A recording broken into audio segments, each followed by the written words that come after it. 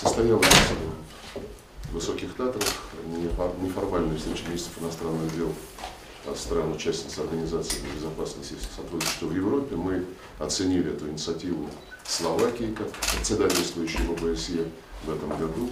Разговор получился в целом полезным, хотя некоторые наши коллеги по-прежнему заточены только на то, чтобы заучено повторять осуждение в адрес России, агрессии, оккупации и так далее. Но большинство все-таки стремилось эту встречу использовать, чтобы как-то искать пути выхода из тех кризисных э, условий, в которых оказалась сейчас э, евроатлантическая безопасность. Э, вы знаете, что влияет на эти процессы. Это продолжающееся накачивание военных мускулов НАТО, продвижение военной инфраструктуры вплотную к российским границам, требование безоглядно увеличивать военные бюджеты, которые у натовских стран и так в 20 раз больше, чем у Российской Федерации. Но, да, и, конечно же, повлияло на общую ситуацию то, что произошло с договором о ракетах средней и меньшей дальности, который заканчивает свое существование из-за односторонних действий Соединенных Штатов и их отказа даже разобраться э, в наших э, разъяснениях, которые мы были готовы предоставить. Они проигнорировали предложение провести для них подробный показ этого изделия и ответить на э, возникающие у них вопросы. Просто отказались на это смотреть. Такие ультиматумы, они, знаете, уже немножечко стали такой манерой американской администрации. Не думаю, что это им добавляет успеха на международной арене. А, здесь, кстати, не было э, госсекретаря Соединенных Штатов, был один из исполняющих обязанности помощника госсекретаря, э, но э, смысл не в том. Смысл заключается в том, что у ОБСЕ есть возможности и есть мандат, вытекающий из Хельсинского заключительного акта, из документов, которые принимались на саммите ОБСЕ в 1999 году, и Европейская хартия безопасности, и другие, есть мандат для того, чтобы в военно-политической области продвигать э, контакты, которые будут доверие укреплять. Года три назад по инициативе Германии начался так называемый структурированный диалог в ОБСЕ на уровне экспертов по вопросам европейской безопасности. Дело полезное, но пока никаким результатом этот диалог не привел. А ситуация, в общем-то, достаточно серьезная, она требует решений, требует практических шагов по деэскалации обстановки. И мы надеемся, сегодня мы об этом сказали, что этот структурированный диалог а, приведет а, к каким-то конкретным договоренностям в самом ближайшем будущем. При этом ясно, что а, ситуация разительно отличается от 2011 года, когда принимался Венский документ по мерам доверия, и наши западные коллеги сейчас требуют дополнительные меры доверия согласовывать, требуют больше транспарентности, но они забывают, мы об этом напомнили сегодня, что сегодняшняя ситуация отличается от 2011 года тем, что натовская военная инфраструктура продолжает наращиваться и продолжает продвигаться к нашим границам. А, поэтому мы за то, чтобы такой диалог в ОБСЕ продолжался, но чтобы он проходил более ответственно, чтобы все участники этого диалога стремились искать совместные решения, а не э, впадать в обвинения голословные и э, в прочие конфронтационные э, риторические вещи. Вторая корзина ОБСЕ экономическая. Здесь мы заинтересованы в том, чтобы ОБСЕ, опять же, как уникальная площадка, способствовала гармонизации интеграционных процессов на различных частях Э, Евроатлантики, включая контакты между Европейским Союзом и Евразийским экономическим союзом. Контакты на уровне комиссии э, первые состоялись. Считаем, что необходимо их продолжать, расширять и э, всячески поощрять. В гуманитарной корзине, здесь, наверное, тоже очень много проблем накопилось. Налицо перекос, который диктуется странами Евросоюза, не желающими уделять специальное внимание таким вопиющим нарушениям прав национальных меньшинств, как те законы, которые принимались на Украине в отношении языка, а, в отношении образования, в отношении а, православной церкви. Но думаю, что сейчас э, настало время, когда то самое Бюро по демократическим институтам и правам человека должно заниматься этими вопросами. Мы привлекли внимание руководителя бюро к этому, к этому вопросу. И Верховный комиссар по национальным меньшинствам ОБСЕ. Это также его прямая обязанность э, обеспечивать, чтобы все страны-участницы ОБСЕ выполняли свои обязательства э, в сфере соблюдения языковых, религиозных, образовательных прав национальных меньшинств. Э, и, безусловно, проблема возрождения неонацистских тенденций, ультрарадикалы поднимают голову и на Украине, и в Прибалтике. Это тоже большая проблема, о ней мы сегодня говорили подробно. А, к сожалению, парламентская ассамблея ОБСЕ, которая недавно завершилась, не поддержала большинством голосов российский проект о недопустимости возрождения неонацизма. Думаю, что это стыдно для наших европейских партнеров, а, но мы будем продолжать эту тему ставить и в ООН, и в Совете Европы, и на площадке ОБСЕ.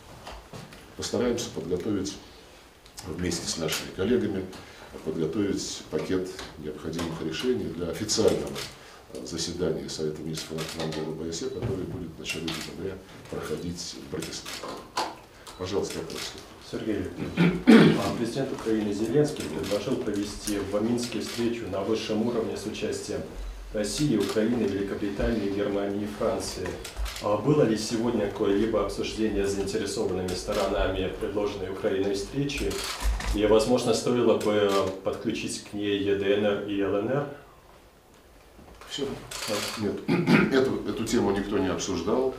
Э, для э, цели украинского регулирования э, созданы действующие форматы, контактная группа с участием Киева, Донецка и Луганска при поддержке России и ОБСЕ, и нормандский формат, который, в общем-то, является коллективным, простите, коллективным автором этих самых минских договоренностей, в том числе и договоренность о создании контактной группы для прямого диалога между участниками конфликта.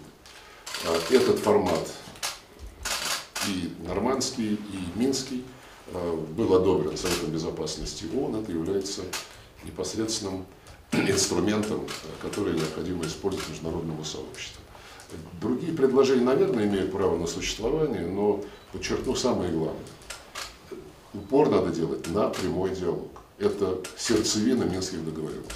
Ну и еще одно такое наблюдение. Наверное, когда речь идет о серьезных э, предложениях, они делают сначала по дипломатическим каналам, а не э, публично э, через Facebook.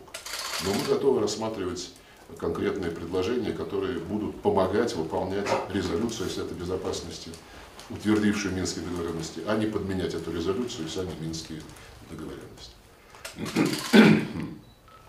Ашпресс.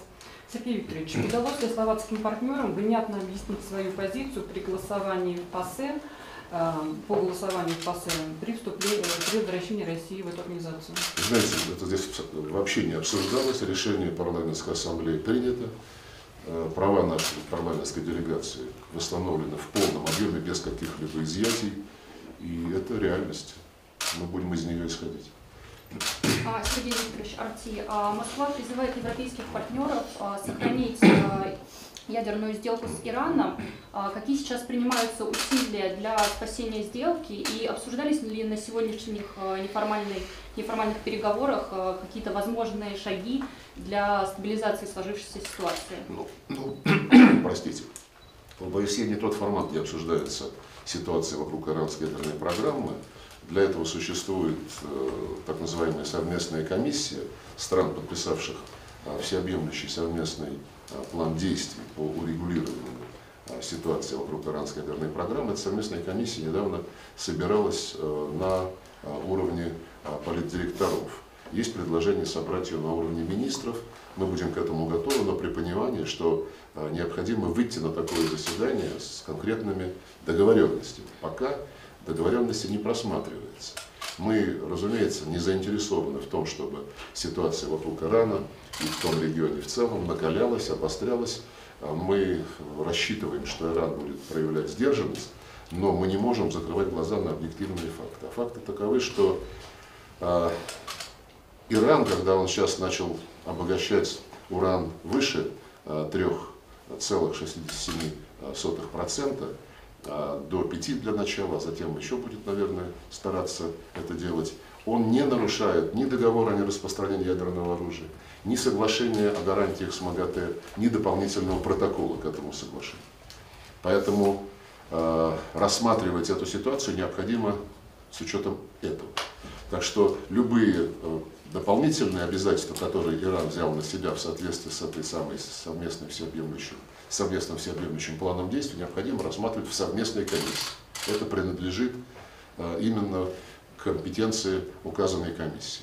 Как, собственно, это утверждено резолюцией Совета Безопасности, которую одобрила СВПД.